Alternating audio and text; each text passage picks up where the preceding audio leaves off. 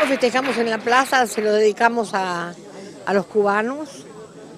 Eh, fuimos con la bandera cubana, que la tenemos en la Casa de las Madres, por supuesto. Y bueno, nos parece una maravilla porque ellos son un pueblo que ha luchado un montón. Estoy contenta que lo pudo ver Fidel. Bueno, todos los demás acuerdos habrá que ver, pero solo que hayan vuelto los héroes a, a Cuba ya es una cosa impresionante que se haya levantado el bloqueo. Vamos a ganar lejos. Lejos porque tenemos muy buena gente, porque hay muy buen trabajo hecho, porque tenemos una juventud organizada que es el único país que tiene esta juventud organizada y porque ellos no tienen nada, no tienen proyectos, lo único que hacen es insultar y son hombres sin proyecto. Y que hablen mal de los derechos humanos, déjenlo, no les digan nada.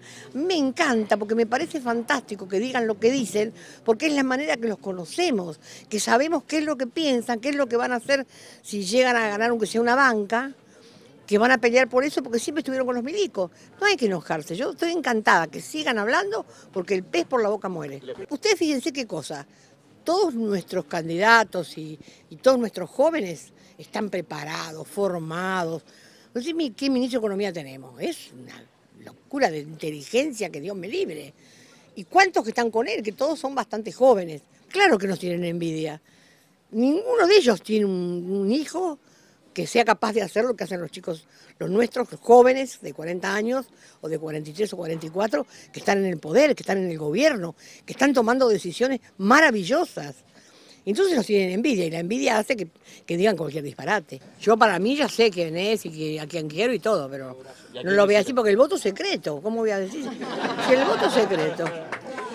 Nosotros tratábamos humildemente todos los días de poner nuestro granito de arena y por eso somos estigmatizados hasta el hartazgo, pero vamos a seguir intentando transformar.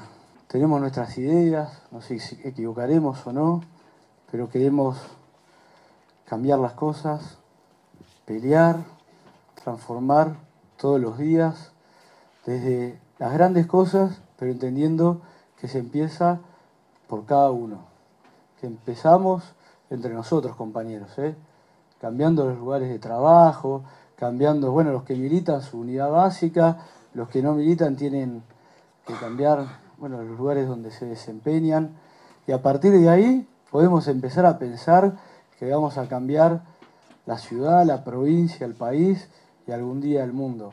Si no, nos estamos engañando a nosotros mismos y lo único que hacemos son teorías fantasiosas. Nunca nos olvidemos de eso. Y tomemos el ejemplo de estas compañeras, que quizás como siempre lo dice Eve y lo dicen, no sabían de, política ni, ni tenían grandes conceptos ideológicos, pero le dieron un ejemplo al mundo. Y hoy son el símbolo, son símbolos en nuestro país y son símbolos para la humanidad.